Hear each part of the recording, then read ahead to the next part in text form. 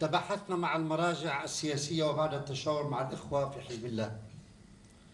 ومع فخامة الرئيس ودولة الرئيس والقوى الأمنية وخاصة قيادة الجيش بضرورة التواجد في البقاع ليس لخطة أمنية فحسب بل بصورة دائمة. لم تمضي 48 ساعة على هذا الكلام حتى كان الجيش اللبناني ينتشر في البقاع وصولا إلى بعلبك. الثالثة فجر الأربعاء بدأ تطبيق الخطة الموعودة.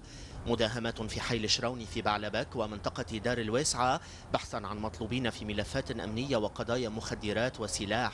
إلى جانب دوريات مؤللة وحواجز متنقلة لم تقتصر على المنطقتين المذكورتين بل شملت أيضا بريتال وحور تعلى واليموني هذه المداهمات التي شارك فيها الفوج المجوقل واستخبارات الجيش أسفرت بحسب المعلومات عن توقيف عدد من الذين صدرت بحقهم مذكرات توقيف وعن مصادرة كميات من الأسلحة المتنوعة والمخدرات وأجهزة اتصالات لاسلكية وإذا كان واضحا أن الغطاء السياسي رفع عن المخلين بالأمن وأن الأحزاب الفاعلة في المنطقة أعطت الجيش ضوءا أخضر فأن الأهالي أعربوا عن ارتياحهم لما يجري وهذا ما أكده رئيس بلدية بعلبك في حديث للأم تي في. هلأ لا شك إنه في بالمنطقة حالات إنه ما بتستاهل إنه يكون واحد طافر في مذكرات توقيف عدد كبير منها كل ما لقط واحد بيبق عن 50 أسم عن 70 أسم.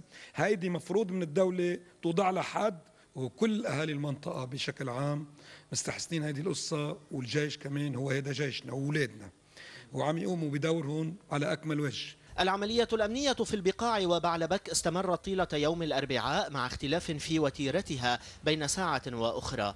وفي الأيام المقبلة سيواصل الجيش فرض الأمن والبحث عن المطلوبين كما تؤكد المصادر العسكرية.